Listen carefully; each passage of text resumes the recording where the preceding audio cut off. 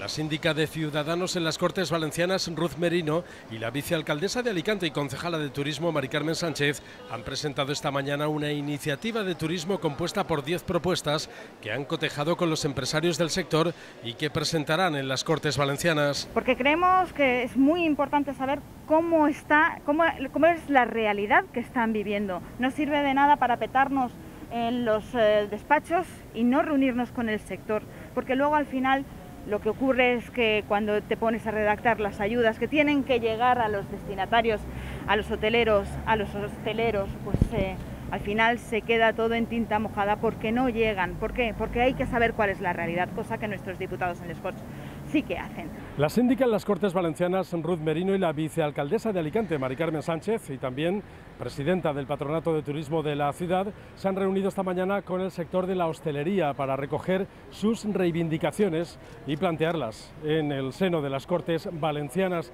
critican que el Consell de Chimo Puig no está respaldando suficientemente al sector turístico y que se están retrasando en las ayudas y en la toma de decisiones de cara a favorecer una reincorporación del sector turístico a la economía. Desgraciadamente, pues mientras otras instituciones eh, flojean en ese aspecto, en el Ayuntamiento de Alicante pues eh, desde todas las áreas estamos pendientes de ayudar en la materia de lo posible a salir de esta crisis sanitaria, lo hacen mis compañeros, mis cuatro compañeros,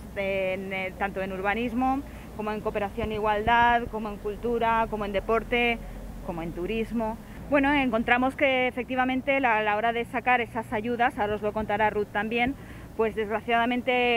eh, se encuentran determinadas trabas administrativas que hacen que no esas esos destinatarios de las ayudas puedan llegar a ellas, porque al final pues eh, la realidad que ellos viven es otra muy distinta a la que se pueda percibir en, en los despachos de, de Generalitat. En Alicante están haciendo muchas cosas bien y como decía Mari Carmen, las trabas muchas veces nos las encontramos en el Consell, en el Consell del Botanic, que hace muchos anuncios, pero a la hora de la verdad eh, los ciudadanos de a pie, en este caso hostelería, turismo, apartamentos turísticos, que son con los sectores que nos vamos a reunir hoy eh, a lo largo de la mañana, no ven esos efectos, esos resultados de tanto anuncio que estiran a lo largo de los meses. Ya se empezaron a anunciar ayudas, ya era tarde cuando las anunciaron porque era enero, hacía muchos meses que se tenía que haber empezado a ayudar al sector que tanto estaba padeciendo la crisis, pero aún así estamos eh, prácticamente a mediados de mayo y nos comunican que muchísimas de las ayudas de Alicante sí que han llegado, pero de de la Generalitat, muchas están por llegar. Además, desde Ciudadanos van a proponer al Consell que consideren al sector turístico como sector esencial para que se proceda a la vacunación de sus trabajadores. Queremos proponerles que sean de los primeros en estar vacunados cuando se vacune, por supuesto, a los grupos de riesgo, eh, que se hagan más PCRs. Una cosa muy importante que echamos muy en falta es que Chimo Puig hace muchos anuncios de lo bien que ha gestionado y de los datos tan buenos que tenemos en incidencia y en enfermos, pero eso mismo no lo vende fuera de la comunidad y mucho menos fuera de España, con lo cual así es imposible atraer el turismo si tú no vendes que esto es un destino seguro.